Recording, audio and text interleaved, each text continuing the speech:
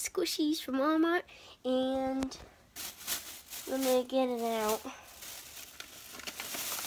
There are these Shopkins Squish-Dee-Lish. I got two, and my sister got two, and my friend got two, but we can't open those because they're her present, because today's her birthday. But let's just get started. Um, we have the banana and the strawberry. The strawberry is really squishy. There's a lot of air in it. Yeah. And I mean the banana one, I just like it because it's really cute. Because um, on the packages you can try to see them. Yeah, here, let me show you on mine. Because Like, I didn't have my package, so. there's these little holes, and you can see like what color, and then you can feel for like the shape. Yeah, because a lot of them are macaroons. I didn't really want one, so those ones are pretty good. So now we'll show you um.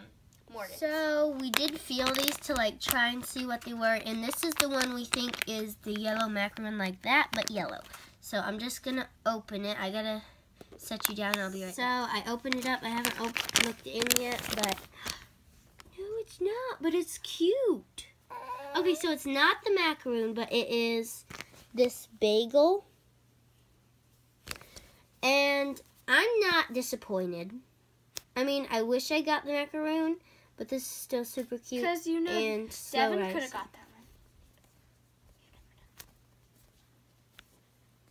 So there's that one. This is the one we think is the pink cotton candy. Hopefully I it hope it is because So you didn't get the right one next time. Last Oh. time. Here it is, and no! Oh! Oh well, it's still super cute, and I'll oh. eventually get more. So here is the chocolate muffin with the strawberry end. I am a little bit disappointed that I didn't get them, but I'll get more. So this is like the cutest muffin. yeah, but um, so that is the video for today.